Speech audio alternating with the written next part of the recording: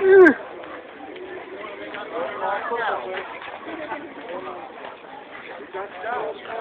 feel green though, huh? Oh, the three of us talking. Mike.